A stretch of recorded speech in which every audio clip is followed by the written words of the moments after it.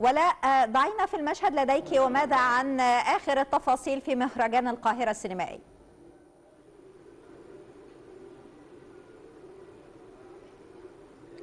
نعم إليك.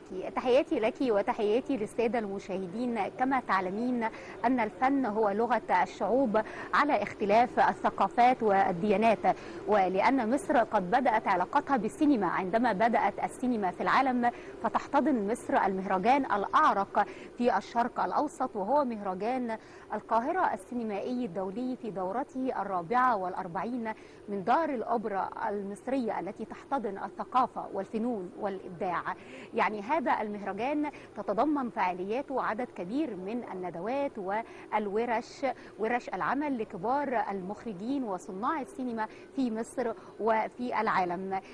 أيضا هذا المهرجان يشارك فيه أكثر من 50 دولة وأكثر من 100 فيلم يؤثر على حركة على حالة الحراك الفني في مصر وفي العالم. فهذه الأفلام هي حلقة الوصل بين الجمهور وبين صناع السينما تخلق حالة من التعددية الثقافية والتعددية الفكرية في مصر وفي العالم. كان هناك تكريمات لكبار المخرجين في العالم مثل المخرج الكبير بيلاتار الذي قدم للسينما العالمية أكثر من 100 فيلم. وكان هناك أيضا عرض خاص في حفل الافتتاح لستيفن سبيلبرج هذا المخرج العالمي الذي قدم أيضا للسينما أكثر من 100 فيلم. يسعدنا أن يكون معنا على الهواء مباشرة المخرج ناجي إسماعيل مخرج الأفلام القصيرة مخرج فيلم ماما. هذا الفيلم هو عرض عالمي أول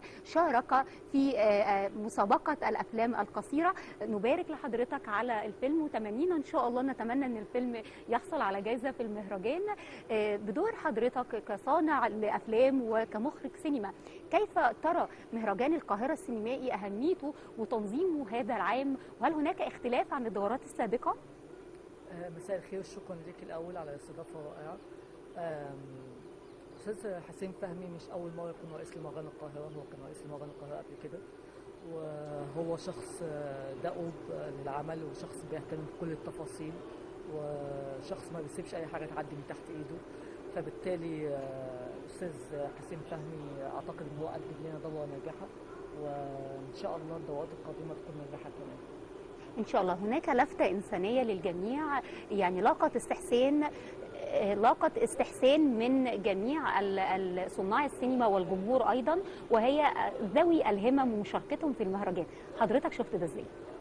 أنا شفت ده إن هي حاجة المفروض تكون طبيعية والمفروض تكون في المهرجان من وقت طويل جدا بس الحمد لله إن هي بقت موجودة دلوقتي لأن هم زيهم زي أي عناصر في المجتمع من حقهم إن هم يشوفوا أفلام ويشاركوا فعاليات المهرجان وبالعكس ممكن نشوف منهم صناع أفلام في المستقبل يعملوا أفلام وأفلامهم تنجح ويعرضوها هنا في المهرجان كمان ليه لأ؟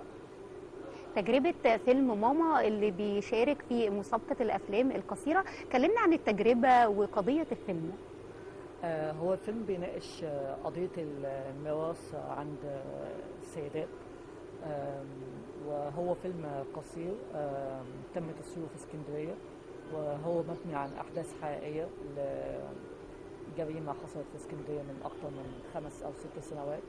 آه بعديها بفترة أثناء فترة كورونا آه بدأت كتابة سيناريو الفيلم. بعدين تعرفت على المنتجة قوسة يونس والممثلة مية غريتي وهم ساعدوني في إن إحنا نبتدي تصوير الفيلم وفعلا تم تصوير الفيلم. وبعدين قدمته في مهرجان القاهرة علشان يكون عرضه العالمي الأول هنا. والحمد لله اتقبل واتعرض الفيلم ولقى استحسان من الجمهور. الحمد لله. بالتأكيد دي, دي ما كانتش التجربة الأولى كان في تجارب تانية زي فيلم أم أميرة. إيه القضية بتاعه الفيلم وإيه اللي عايز توصله من الفيلم؟ أم أميرة كان عن سيدة بسيطة بتبيع سندوتشات بطاطس في الشارع لكنها في نفس الوقت هي سيدة عظيمة كانت هي المسؤولة عن إعالة أسرتها بالكامل. وده لفت نظري للشخصية وقررت إن أنا أعمل عنها فيلم تسجيلي. آه والحمد لله الفيلم شارك في مهرجان برلين السينمائي. وكان أول فيلم مصري يشارك في قسم الأفلام القصيرة بالمهرجان وبرضه لقى نجاح كويس جدا من النقاد وحصل على العديد من الجوائز العالمية. وبس فكانت تجربه كويسه بما إن حضرتك ذكرت مشاركة الفيلم المصري في برلين وفي عندنا في مصر هنا بيشارك أكتر من ست أفلام في مهرجان القاهرة السينمائي السنة دي إلى أي مدى يلقي بظلاله هذه تلقي بظلالها هذه المشاركة على حالة الحراك السينمائي في مصر؟ وليس في مصر فقط لكن بالعالم بما إنه مهرجان عالمي. آه، ده معناه إن إحنا عندنا إنتاج آه، بيحاول آه، يفرض نفسه بيحاول إن هو يكون موجود على الساحة. أي نعم إحنا طماعين وبنحب يكون في آه، في المستقبل أفلام أكتر آه، لأن السينما المصرية هي مش عايزة أقول القوة أحد القوى الناعمة لأ هي القوه الناعمه الرئيسيه لمصر. يعني مش آه، مش حاجة مجاملة يعني. دي حاجة من التاريخ هو اللي معلمنا كده. فبالتالي يا ريت كل سنة يكون في أكتر من فيلم لأن ده بيعكس الهوية بتاعتنا. وبيعرف العالم إحنا مين بالظبط وبيخليهم يشوفوا الإبداع بتاعنا وبيخليهم يتجاوبوا معاه وبيفتح كمان أفق للتعاون المشترك ما بيننا وما بين سينمائيين من دول عالم مختلفة. فده كويس لينا كلنا. أشكرك شكرا لحضرتك.